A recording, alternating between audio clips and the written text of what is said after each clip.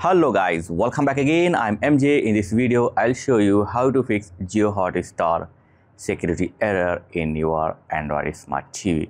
So this is the very common and basic error for apps in Android TV.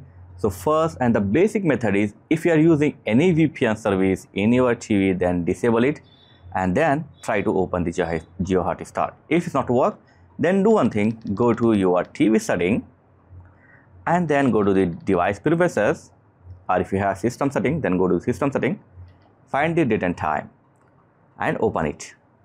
So your tv date and time must be correct as per your country and region.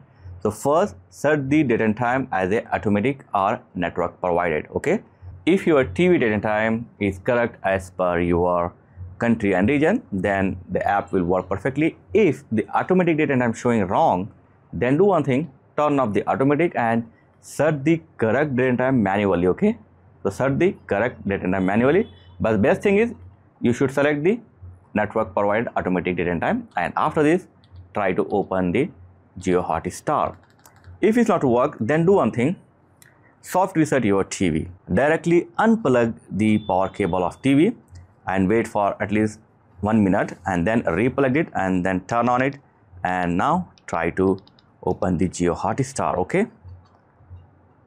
Look at that now it's working. And if you're still facing problem then do one thing.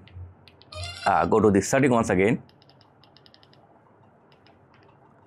And this time go to the network.